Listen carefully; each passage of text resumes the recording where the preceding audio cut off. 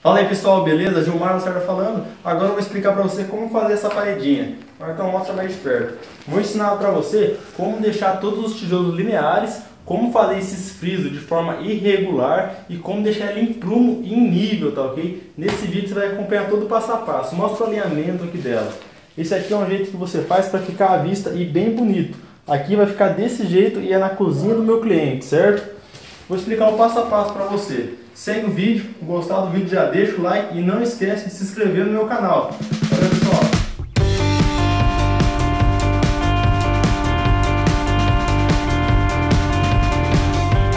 Esse aqui é o tijolinho maciço, ele é 9 por 18, tá? Tô trabalhando com ele fazendo uma bancadinha aqui. Ele vai ficar desse jeito, não vai ser rebocado. Então tô trabalhando de um jeito que depois eu não preciso ficar frisando. O que é o friso? O friso é um pouquinho para dentro a massa, não fica desse jeito, fica desse jeito aqui, ó. Como é que eu faço? Vamos logo ao, ao objetivo. Eu uso dois ferros 5,16, que é a largura que eu acho que é boa de massa. Se quiser mais grosso, pega um 3 oitavos e coisa e tal. Ferro 5,16 do tamanho da paredinha, o que, que eu faço? Eu ponho aqui, ó, certo? Eu ponho ele beirando aqui porque vai dar a mesma altura e a mesma largura de rejunte aqui, ó, de friso, tá? Feito isso, eu travo aqui o, o ferrinho, seguro aqui e começo a entrar na ponta. Massinha de areia e cimento, tá? Opa, caiu o outro lado. Trava esse aqui, ó, enche esse lado primeiro segurando. Enchi um lado. Pega o ferrinho, põe no outro aqui beirando, ó. Travei no lugar e enche no outro. Já enche o outro lado. Dou uma cortada para frisar aqui, ó, para distanciar um, ficar tão grosso, senão o ferro vai abrir. Fica pouquinha coisa chanfrada. Agora que vem o segredo, ó. O tijolo é esse, tá? Ele não é regular, ele não é à vista, é um pouco imperfeito, eu acho que dá pra ver a imperfeição dele. Então aqui ele tem esse vão. Nesse vão a gente enche de massa, ó. Jogou massa aqui, ó, raspou, é só encaixar lá. Joga uma massa na parede para pegar ó. Opa, aqui vai o menor. Amarração.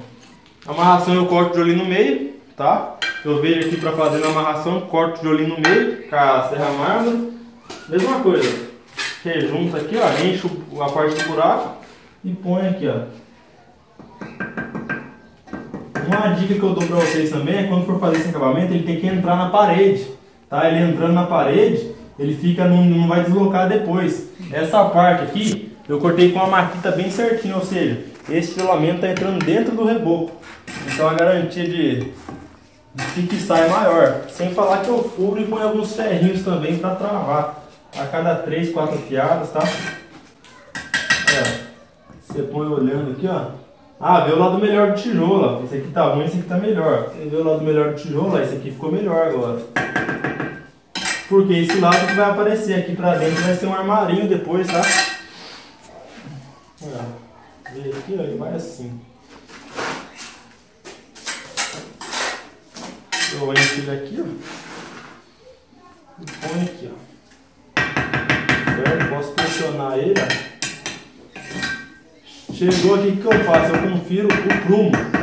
Aqui eu tô fazendo no olho, tá? Porque eu já comecei o prumo e eu consigo olhar daqui e ver se tá certo. Mas aqui é uma régua de nível. Eu encosto aqui, ó. E vejo se tá no prumo não. Aqui tá certinho, ó.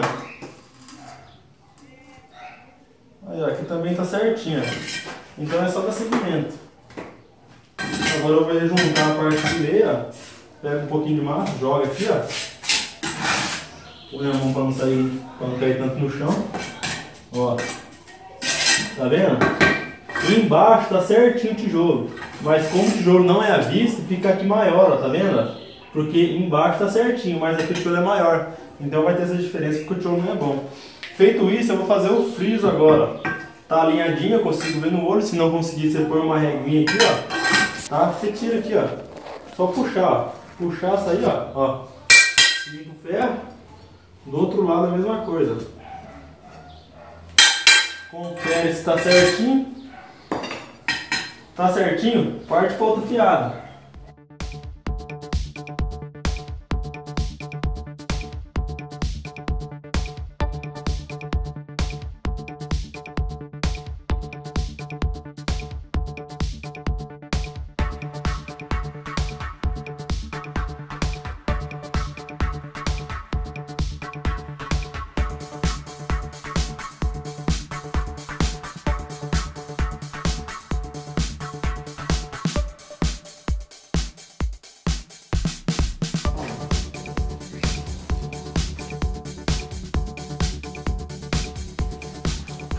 Aí, agora eu regularizei o tijolo, tá? Já tirei o ferrinho.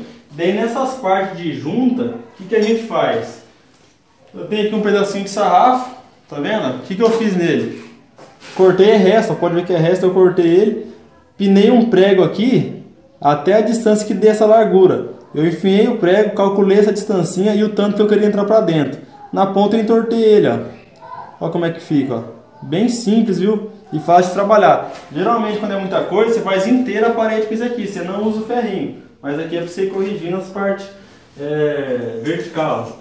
Aí você vem aqui, ó, ó. Esperar secar um pouquinho mais, tá mole ainda. Deu uma olhada.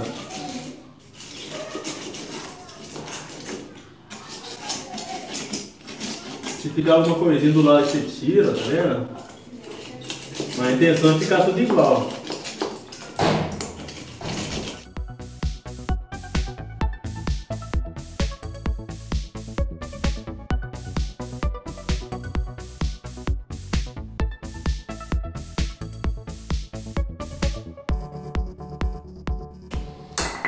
Bom pessoal, agora aqui pra cima eu vou esperar secar um pouco.